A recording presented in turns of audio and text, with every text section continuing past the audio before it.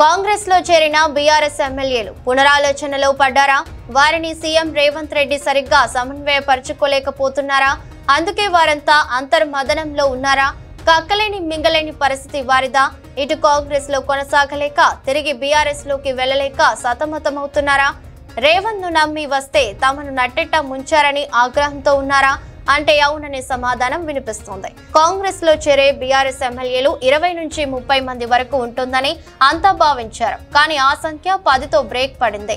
Already కాంగ్రెస్లో చేరిన వారు ఇబ్బందుల్లో ఉండడం వల్లే ఈ పరిస్థితి అని టాక్ నడుస్తోంది. కాంగ్రెస్లో చేరిన బీఆర్ఎస్ ఎమ్మెల్యేల పరిస్థితి ఏమంత బాగాలేదు. ఎందుకు వచ్చాంరా అన్నట్టుంది వారి పరిస్థితి.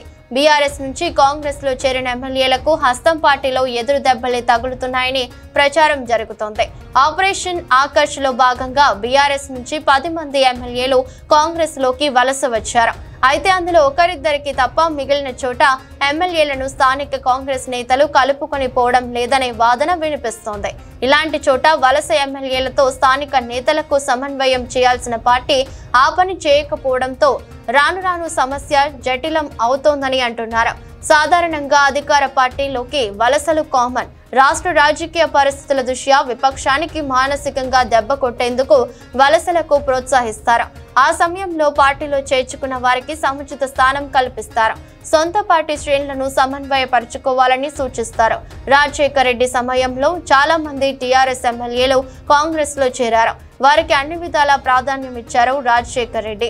అంతెందుకు చంద్రబాబు హయాంలో జగన్ పార్టీ ఎమ్మెల్యేలు టీడీపీలో చేరారు. వారికి మంచి ప్రాధాన్యత ఇచ్చారు బాబు. తెలంగాణలో సైతం కేసీఆర్ పార్టీ వైపు కాంగ్రెస్ ఎమ్మెల్యేలు అడుగులు వేశారు. టీడీపీ కీలక నేతలను సైతం కేసీఆర్ తన వైపు తిప్పుకున్నారు. వారందరికీ బాగానే చూసుకున్నారు. కానీ ఇప్పుడు బీఆర్ఎస్ ఎమ్మెల్యేల విషయంలో మాత్రం రేవంత్ చేతులెత్తేశారన్న విమర్శలు ఉన్నాయి. చేవెళ్ళ ఎమ్మెల్యే కాలే యాదయ్యపై కాంగ్రెస్ కార్యకర్తలు కోడిగుడ్లతో దాడి చేయడాన్ని ఇందుకు ప్రధాన ఉదాహరణగా చెప్తున్నారు. బీఆర్ఎస్ నుంచి వచ్చిన వారిలో జగిత్యాల ఎమ్మెల్యే సంజయ్కు ఎమ్మెల్సీ జీవన్ రెడ్డి వర్గం సహాయ నిరాకరణ చేస్తోంది. అదేవిధంగా గద్వాల ఎమ్మెల్యే బండ్ల కృష్ణమోహన్ రెడ్డికి నియోజక నియోజకవర్గ ఇన్ఛార్జి సరితతో పోసగడం లేదు. చేవెళ్ళలోనూ పార్టీ ఇన్ఛార్జ్ భరత్తో ఎమ్మెల్యే యాదయ్య వర్గానికి గ్యాప్ కంటిన్యూ అవుతోంది. సీనియర్ నేత పోచారం శ్రీనివాస్ రెడ్డికి పార్టీ ఇన్ఛార్జ్ ఏనుగు రవీందర్ రెడ్డికి మధ్య రాజీ కుదరలేదని ప్రచారం జరుగుతోంది. ఇక ఖైరతాబాద్ లోను ఎమ్మెల్యే దానం నాగేందర్ ఇన్ఛార్జి విజయారెడ్డి వర్గాల మధ్య విభేదాలు కొనసాగుతున్నాయని చెప్తున్నారు. ఇలా ఒకరిద్దరు తప్పితే మిగిలిన ఎమ్మెల్యేలు అంతా పార్టీ ఇన్ఛార్జీలతో ఇబ్బందులు ఎదుర్కొంటూ ఉండటమే. వలసలకు బ్రేక్ పడిందనే వాదన వినిపిస్తోంది. ఇరవై ఆరు మంది ఎమ్మెల్యేలను చేర్చుకుని బీఆర్ఎస్కు ప్రతిపక్ష హోదా దక్కకుండా చేయాలని సీఎం రేవంత్ రెడ్డి ప్రయత్నిస్తుండగా ఆయన లక్ష్యానికి గండి కొట్టేలా పార్టీ ఇన్ఛార్జీలు ప్రవర్తిస్తున్నారనే విమర్శలు ఎదుర్కొంటున్నాయి.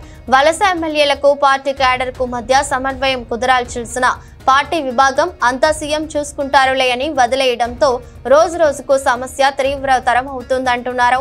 ఇలాంటి సమస్యలను పార్టీ పరంగా పరిష్కరించాల్సినప్పటికీ పీసీసీ చీఫ్గా సీఎం రేవంత్ రెడ్డి కొనసాగుతుండటం వల్ల ఆయన పార్టీ వ్యవహారాలపై ఫోకస్ చేయలేకపోతున్నారు. ఇదే సమయంలో వివాదాలను చక్కదిద్దేందుకు ఆయా జిల్లా మంత్రులు ప్రయత్నిస్తున్నప్పటికీ ఇన్ఛార్జీలు లెక్క చేయడం లేదు. అలాంటి వారిపై చర్యలు తీసుకునే అధికారం మంత్రులకు కూడా లేకపోవడంతో ధిక్కార స్వరాలను అదుపు చేయలేకపోతున్నారని అంటున్నారు. మున్ముందు ఇదే పరిస్థితి కొనసాగితే బీఆర్ఎస్ ఎమ్మెల్యేలు సొంత గూటికి చేరిపోయినా ఆశ్చర్యపోనవసరం లేదు.